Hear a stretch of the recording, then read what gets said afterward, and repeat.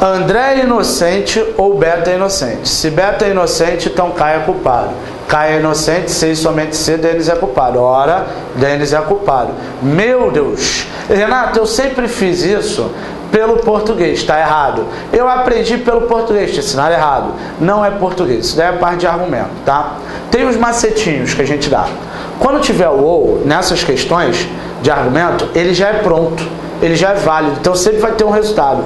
Quando aparecer o ou, sempre vai aparecer um falso primeiro. O outro tem que ser diferente, ou seja, tem que ser verdadeiro. Quando aparecer o se, então, vão ser duas situações. Vai aparecer o falso atrás falso na frente também. Tu bota o falso na frente, sempre. Se aparecer o verdadeiro na frente, tu bota o verdadeiro atrás. Acabou, sempre. Mas, Renato, se no então apareceu o verdadeiro atrás, na frente não é nada, tu não afirma. Esse é o macetinho. Vamos ver na prática, vem comigo. Essas questões você pode botar letra, tudo mais. Eu acho muito mais fácil fazer assim, ó. André é inocente. Então vamos lá, vamos botar aqui, André é inocente.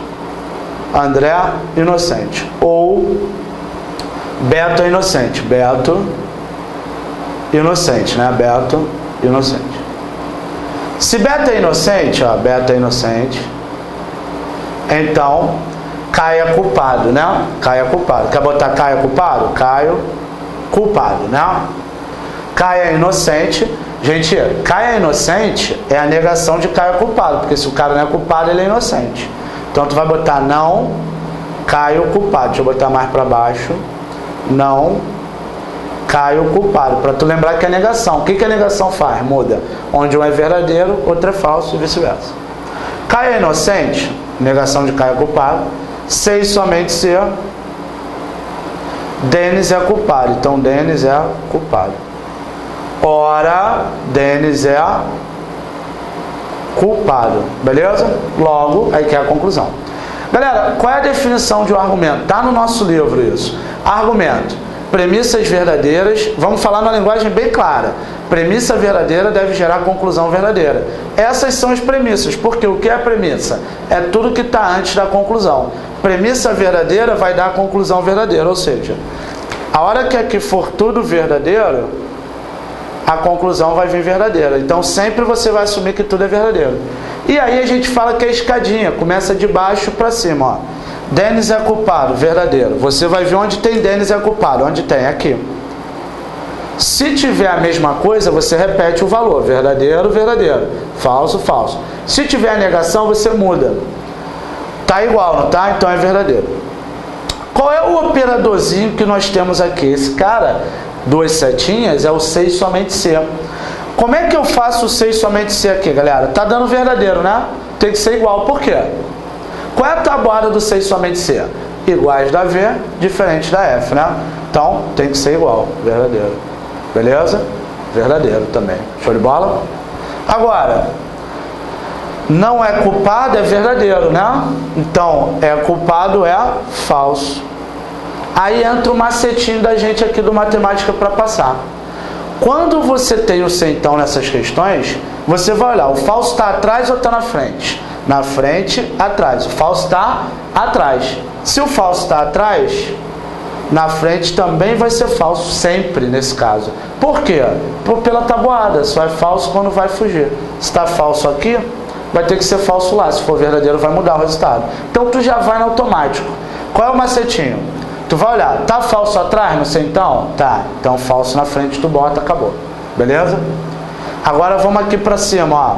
Beta inocente, falso também, né? Qual é o operadorzinho que nós temos aqui, galera? É o ou. O que, que eu falei no início da explicação? No ou, os caras vão ser diferentes. Tá falso aqui, lá vai ter que ser verdadeiro. Por quê? Sempre vai aparecer um falso no outro verdadeiro, tá? que o resultado é verdadeiro. Show de bola? Então vamos lá, de novo. Denis é culpado é o que? Verdadeiro. Denis é culpado, verdadeiro. Seis somente ser iguais, que é verdadeiro, né? Verdadeiro, verdadeiro. Caio, não, não, Caio não é culpado, verdadeiro. Aqui está Caio é culpado, mudou, negação, falso. Né? Qual é a parada aqui, o macetinho? Se então, falso atrás, vai botar falso na frente. Sempre, sempre nessas questões, falso atrás é falso na frente. Falso atrás, falso na frente. Se fosse verdadeiro na frente, verdadeiro atrás. Se não é isso, não é nada. O outro tu não garante nada. Beto é inocente, falso. Beto é inocente, falso. O ou, como é que é a tabuada do ou? Tudo F da F. Então, sempre no ou com falso, o outro é verdadeiro. Vai ter que ser diferente. Por quê? Para rolar verdadeiro no resultado. Beleza? Daí, quais são as minhas conclusões? André é inocente. Então, André é inocente. Correto? Beto é inocente é falso. Então, Beto é culpado. Sempre nega, né? Não é inocente, é culpado. Já te falei isso. Beto é inocente, já vi. Caio é culpado, é falso. Então qual é a verdade? Caio não é culpado, ou seja, Caio é inocente, né? E aqui, ó, Denis é culpado, é verdadeiro. Denis é culpado. Quais são as conclusões? André é inocente, Beto é culpado, Caio é inocente, Denis é culpado, beleza? Então, questãozinha de argumento, vem contigo. Sei somente seu. Os caras sempre vão ser iguais. Um é verdadeiro, outro é verdadeiro, um é falso, outro é falso. Se então, aí que entra o macetinho. Qual é o macetinho? Falso atrás, falso na frente. Nem pensa, já bota falso na frente. Verdadeiro na frente, já bota verdadeiro atrás. Nem pensa. Se não é isso, o outro não é nada, tu não garante. Ou, qual é o macetinho? Diferente. Falso, verdadeiro. Acabou, tá aí.